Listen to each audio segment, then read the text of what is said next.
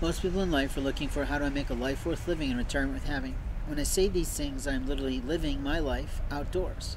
I'm a traveling man, if you will, a rambling man, if you will, a renaissance man, perhaps.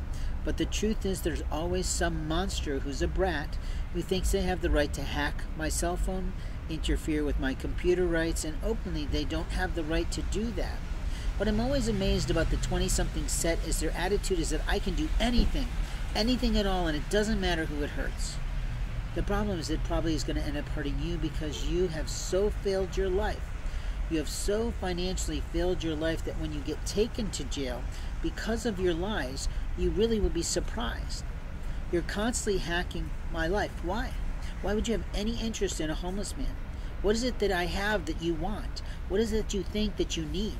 What is it that makes you just so happy to do when you really should be being paid to be an employee?